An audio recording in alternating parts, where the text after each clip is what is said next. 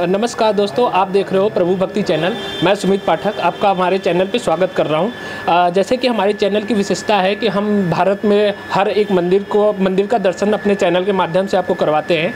तो ऐसे ही एक विशेष मंदिर के खोजते खोजते हम चावड़ी बाज़ार आए और चावड़ी बाज़ार आके हमें पता चला कि एक सीताराम मार्केट में चौरासी घंटे मंदिर है जहाँ पे ये विशेषता है कि वहाँ पे चौरासी घंटियाँ बांधी गई हैं और एक घंटी बजाने पे वो चौरासी घंटियाँ आप, आपस में बजने लगती है।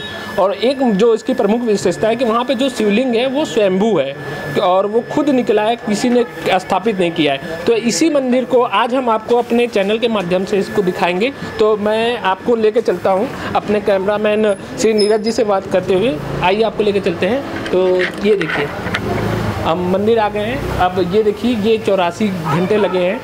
आपको दिखा दूँ। तो ये है मंदिर की एक विशेषता कि आप अगर एक घंटी बजाएँगे तो ये जिसमें, इसमें जो चौरासी घंटे लगे हैं, ये आपस में बजने लगते हैं। तो ये इसकी सबसे बड़ी विशेषता है। तो आइए अब आपको इस मंदिर से जुड़ी सारी विशेषताओं को बारे में जानने के लिए हम आपको लेके चलते हैं यहाँ के महंत जी के पास। तो आइए आपको महंत जी के पास लेके चलते हैं। आपका नाम? शंकर शर्मा। अच्छा। तो शंकर जी जैसे कि हम ये मंदिर खोजते खोजते यहाँ पे आए हैं चौरासी घंटे मंदिर। तो क्या आप बता सकते हैं कि ये मंदिर के बारे में थोड़ा इतिहास हमारे दर्शकों को कि ये मंदिर की विशेषता क्या है और इतिहास क्या है? विशेषता तो ये ढाई सौ ढाई सौ साल पुराना मंदिर है ये। अच्छा। और विशेषता यह है कि यहाँ जो ये शिवलिंग जो निकले हुए हैं वो यहीं से प्रकट है। अच्छा ये शिवलिंग आप? हाँ जी हाँ जी। ठीक है। शिवलिंग है ये यहीं से प्रकट है। अच्छा। और यहाँ की मानता जो खाली यहाँ चालीस दिन जल भी चढ़ा लेगा ना उसकी मन्नत पूरी हो जाती है। अच्छा। हाँ जी। अ, जैसा कि आप बता रहे हो कि ये शिवलिंग स्वयंभू है हाँ स्वयंभू है। तो अ, हम यहाँ पे जैसे हम ये जानना चाहते हैं कि स्वयंभू शिवलिंग अपने आप में बहुत बड़ा चमत्कार ही होता हाँ। है तो यहाँ पे कभी 250 साल पुराने मंदिर में कभी कोई ऐसा चमत्कार आपको देखने को मिला? हम्म।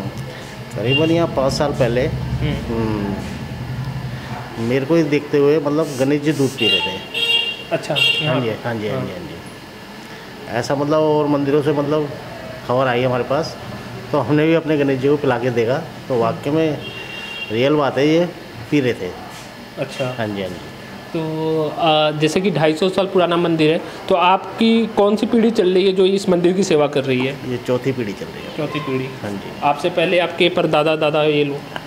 हमारे से पहले हमारे पापा थे। हम्म, पापा से पहले दादा थे। हम्म, दादा से पहले उनके अच्छा। तो जैसा कि होता है कि हमें बताया जाता है हम छोटे रहते हैं तो जैसे हमारे दादा पापा पर दादा हमें मंदिरों के बारे में बताते रहते हैं कुछ वहाँ से जुड़े उन्होंने अलौकिक चीज़ें दिखी हो।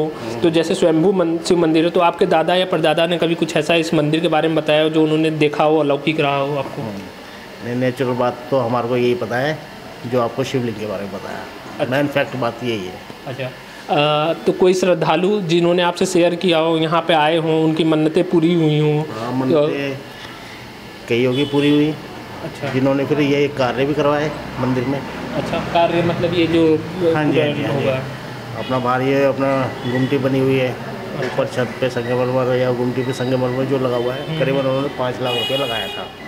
आज से करीबन बीस साल पहले।